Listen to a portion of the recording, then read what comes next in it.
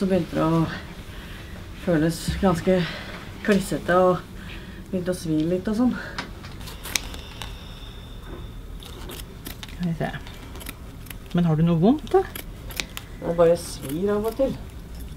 I såret, altså. Ja. Men ellers er det bare hvis jeg har ligget litt for mye i en stilling, så Hvor lenge siden er det du opererte igjen? en, ja, en uke og en dag. Da ah, Vi bruker muskler. Det som er nytt, er at vi har eh, startet opp eh, bruddklinikk for å få pasientene raskt igjennom systemet.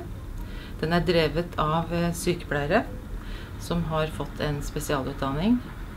Ehm, og vi er nå tolv i tallet som driver den bruddklinikken 24 timer i døgnet.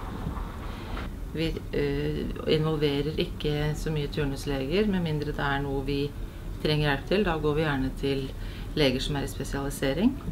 Og utover det så er det overlegene vi eh, samarbeider med. Morsomme aktiviteter. Ja. Så var det stumpeski, da. ja. Og så har man kanskje en hink hingplass innabords og sånn, eller? Nei, det var ikke lov. Det var ikke lov, nei. til dette. Det var, traff et glatt parti, og så gikk beinet rett ut. Og så istedenfor å gå i spagaten, så ble det ankelen istedenfor. Ja. Endringen er jo veldig stor. Tidligere så har vi vært eh, underlagt eh, legenes eh, måte å jobbe på. Eh, mer håndlangere på en måte. Nå står vi med hele ansvaret sjøl. Det, kan bare- det kan både være skremmende, eh, men det er veldig givende. Eh, For det er litt viktig at vi tar det ansvaret. Og vi er absolutt i stand til å ta det ansvaret. Vi trenger eh, naturlig nok litt eh, mengdetrening, men vi er på god vei. Vi har kommet langt siden september i 2015. Og det er ikke noe vei tilbake. Fordi pasientmassen øker jo. For å få pasientene raskt igjennom systemet, så må vi faktisk gå den veien vi har bestemt oss for å gå.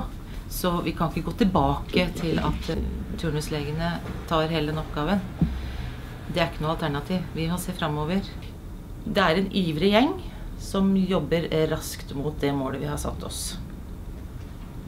Så, så du veit jo det at eh, denne gipsen her skal du jo ikke eh, tråkke på, ikke sant? Ja.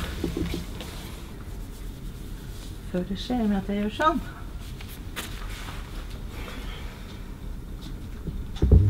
Nei, du hva? Det kjennes greit ut, det.